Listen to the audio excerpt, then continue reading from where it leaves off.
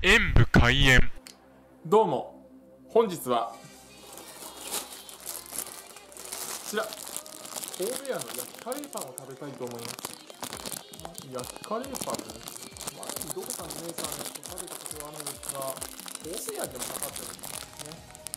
ま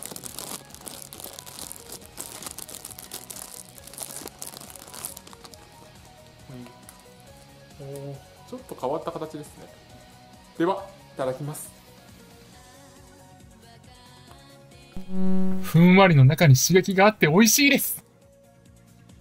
揚げるのではなく焼いてあるのでいわゆるさっくり系の生地でもなくむしろパン生地と言われたらこのパン生地かなというような弾力のある生地でした。そして中のカレーは結構刺激があって食欲を誘ってくれます。風味も効いていて美味しかったです。